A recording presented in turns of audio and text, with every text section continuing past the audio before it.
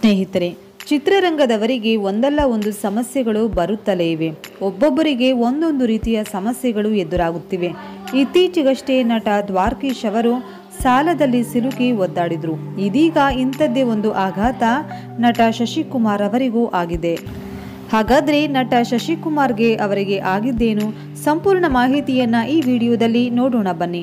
ಅದಕ್ಕೂ ಮುನ್ನ ಇನ್ನಾದರೂ ಚಿತ್ರರಂಗದವರಿಗೆ ಸಮಸ್ಯೆಗಳು ಕಡಿಮೆಯಾಗಲಿ ಅಂತ ಕೇಳಿಕೊಂಡು ಈ ವಿಡಿಯೋವನ್ನು ಲೈಕ್ ಮಾಡಿ, ಹಾಗೆ ನಮ್ಮ ಚಾನಲನ್ನು ಸಬ್ಸ್ಕ್ರೈಬ್ ಮಾಡ್ಕೊಳ್ಳಿ. ಹೌದು, ನಟ ಹಾಗೂ ಮಾಜಿ ಸಂಸದ ಶಶಿಕುಮಾರ್ ದೆಹಲಿ, ಕರ್ನಾಟಕದ ಭವನದ ಬಾಡಿಗೆ ಬಾಕಿ ಉಳಿಸಿಕೊಂಡಿದ್ದಾರೆ ಸಂಸದರಾಗಿದ್ದಂತಹ ಸಂದರ್ಭದಲ್ಲಿ ಕರ್ನಾಟಕ ಭವನ ಬಳಕೆ ಮಾಡಿದ್ರು.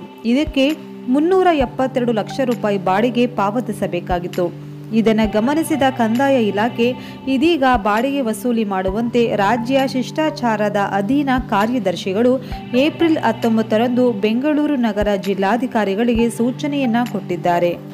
ಸಾಕಷ್ಟು ಆರ್ಥಿಕ ಸಮಸ್ಯೆಗೆ ಸಿಲುಕಿರುವ ಶಶಿಕುಮಾರ್ ಅವರು ಇದೀಗ ಮತ್ತೊಂದು ತೊಂದರೆಗೆ ಸಿಲುಕಿಕೊಂಡಿದ್ದಾರೆ. ಎರಡು ಸಾವಿರದ ಇಪ್ಪತ್ತ್ಮೂರರ ವಿಧಾನಸಭಾ ಚುನಾವಣೆಯಲ್ಲಿ ಚಿತ್ರದುರ್ಗ ಜಿಲ್ಲೆಯ ಮೊಳಕಾಲ್ಮೂರು ಅಥವಾ ಚಳ್ಳಕೆರೆ ಗ್ರಾಮದಲ್ಲಿ ಮೀಸಲು ಕ್ಷೇತ್ರದಿಂದ ಕಣಕ್ಕಿಳಿಯುವ ತಯಾರಿ ನಡೆಸುತ್ತಿದ್ದರು ಆದರೆ ಈಗ ಶಶಿಕುಮಾರ್ ಅವರ ಪರಿಸ್ಥಿತಿ ತುಂಬಾನೇ ಹದಗೆಟ್ಟಿದೆ. ಈ ಬಗ್ಗೆ ನೀವೇನು ಹೇಳ್ತೀರಾ? ನಿಮ್ಮ ಅನಿಸಿಕೆಗಳನ್ನು ತಪ್ಪದೇ ಕಮೆಂಟ್ ಮಾಡಿ ತಿಳಿಸಿ.